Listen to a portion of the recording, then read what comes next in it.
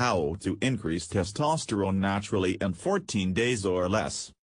Juicing for Your Manhood by Olivia Langlois a new program that utilizes natural methods in the treatment of erectile dysfunction problem due to low testosterone levels.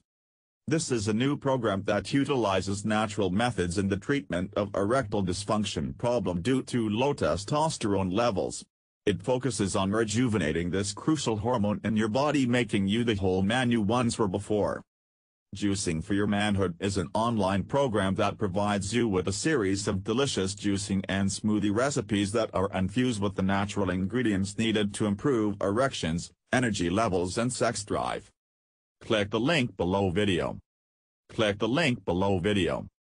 Juicing for Your Manhood is based on new studies published by the American Urological Association that suggest erectile dysfunction to not be an issue with blood flow but rather, an issue with nutrition, so, it's 100% safe and natural with none of the side effects commonly associated with male enhancement products.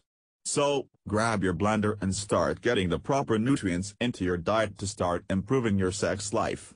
All of the recipes are easy to make with common ingredients that can be found at your local grocery store.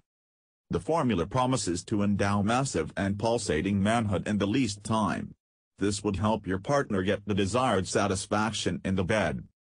It has helped a large number of people to increase the size of their manhood. With the bigger size, the pleasure of both the partners enhances manifolds.